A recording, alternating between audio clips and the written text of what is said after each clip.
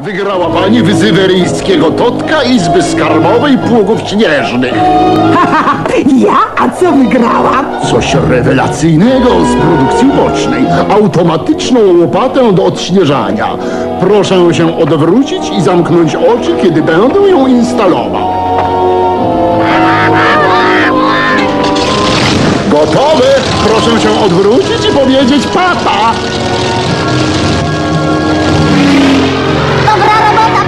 Misiu. E, ale nie wydaje mi się, żeby to było takie uczciwe. Oczywiście, że nie, ale lecimy, prawda?